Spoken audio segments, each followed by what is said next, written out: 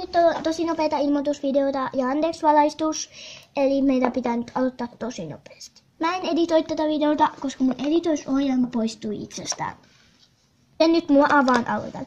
Eli äh, Robloxia ei tule enää, vaikka siitä on kyllä vain yksi osa. Sitä ei tule sen takia, koska en jaksa kuvata sitä ja poistin Robloxia.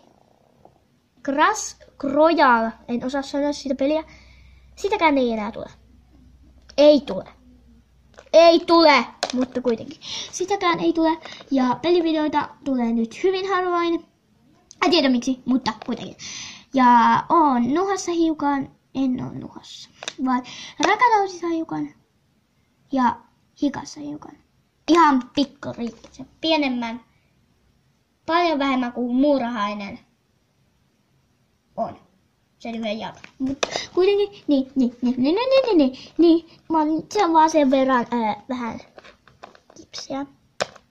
Eli kipeä, mutta siinä oli muut ilmoitukset tältä päivää. Ja videoita muuten ei tule öö, melkein joka päivä, koska öö, tää sairaus. Mutta kuitenkin, niin toi öö, sairaus öö, pilaa sen, että mä tekisin joka päivä videoita, ja mä en nyt pysty tekemään. Joten öö, anteeksi vaan, ja tässä oli Susulintu LPS, ja Susulintu LPS kuittaa.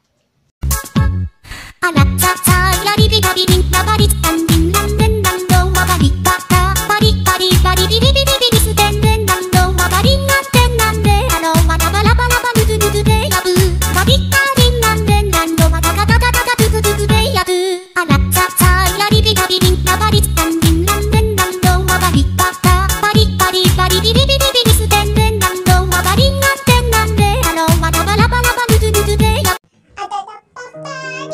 I'll be.